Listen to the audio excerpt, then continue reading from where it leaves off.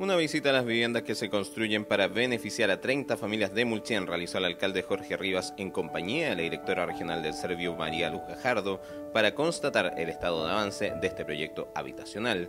Se trata de la iniciativa que se construye en Calle Mont para beneficiar a las familias agrupadas en el Comité Habitacional Emprendedoras de Esfuerzo, quienes se constituyeron hace tres años para obtener una vivienda. Fabiola Vizcarra, presidenta de este comité, manifestó que las casas han presentado un avance rápido y esperan que éstas mejoren su calidad de vida. Las casas han avanzado muy, muy rápido. Nos han gustado, hemos esperado también. He sentido bueno que hemos esperado muy poco. Vamos a cumplir tres años ahora en agosto desde que empezó el proyecto. Nos conformamos y han avanzado súper rápido. Son muy lindas. Eh, tenemos dos tipos de viviendas también integran a las personas con discapacidad.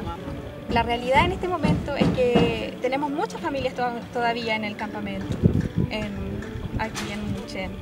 Eh, y con las viviendas, bueno, esperamos que nuestra calidad de vida mejore. Eso es lo que esperamos. Tener una vivienda con la que soñamos hace mucho que nos da dignidad, que nos integra prácticamente a la comuna. La directora del Servio María Luz Gajarda afirmó que una de las prioridades que tiene el gobierno y el Ministerio de Vivienda la constituyen las familias que viven en campamentos.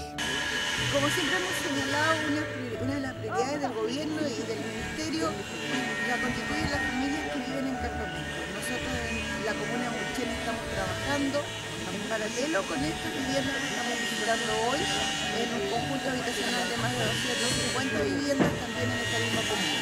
Pero sin duda alguna hemos puesto prioridad en el trabajo de estas 30 familias que tienen un muy lindo nombre, además de comité, ya se llaman emprendedoras de esfuerzo estas familias han venido trabajando en conjunto con nosotros. Hoy día hemos invertido aquí no solo recursos propios del Ministerio, sino que también recursos especiales de nuestro programa de campamento para poder otorgar dignidad a las familias, a estas familias de Mulchen. Es muy relevante aquí destacar la labor que realizamos en conjunto con nuestro municipio. El alcalde ha estado permanentemente preocupado de que esto avance. Nos parece que los modelos de vivienda que hemos visto, lo que hemos visto de avance de la construcción, corresponde a aquello que esperamos.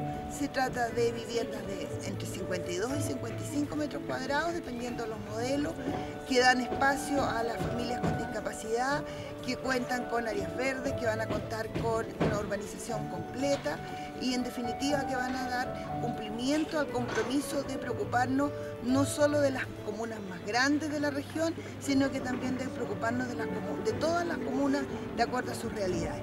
Tenemos todavía varios trabajos pendientes, así que estamos en pleno trabajo con el, en conjunto con el municipio y su preocupación constante por las viviendas de, la, de esta comuna muy tranquilos y vamos a volver a ver la vivienda piloto y vamos también, esperamos estar en conjunto con la familia, entregando antes del próximo invierno, entregando vivienda. En tanto, el alcalde de Mulchen, Jorge Rivas, sostuvo que como municipio se han sumado a la alegría de estas familias y el objetivo es mejorar la calidad de vida de estos vecinos que viven en difíciles condiciones. Con esto estamos contribuyendo a mejorar la calidad de vida de estas familias eh, que viven en difíciles condiciones y esperamos que este sea el último invierno que vivan en, esas condiciones. Ellos han mostrado su conformidad, están contentas de poder contar con este tipo de viviendas, sobre todo en un lugar también privilegiado acá de la comuna, está todo cerca, colegio, la municipalidad, servicios públicos, la comisión, entre otros. Eh, y por lo tanto esperamos también que con esta rapidez que ha construido esta vivienda la, la constructora o, el avance que lleva, eh, siga también con la misma prontitud de manera que ellas puedan habitar lo antes posible este, esta vivienda que, como bien lo señalo, van a mejorar eh, su calidad de vida. El gobierno contribuye a ello, contribuye con su trabajo. Esto es una muestra más de cómo se preocupa de los chilenos y chilenas en que salgan de la situación de vulnerabilidad, de la situación de pobreza. Por supuesto, yo como alcalde lo agradezco. Y esto se suma a las 252 viviendas también que esperamos entregar durante el mes de septiembre en el Alto Higgins, ahí al lado del sector de la población de Villalobos. Esta iniciativa contempla dos modelos de vivienda de 52 y 55 metros cuadrados en una construcción de dos pisos que consta de tres dormitorios, sala de estar, comedor, cocina y baño. Además, el proyecto considera áreas verdes, una plaza de juegos infantiles, lo cual tiene una inversión total de 417 millones de pesos y se espera que este conjunto habitacional esté finalizado durante el segundo trimestre de 2017.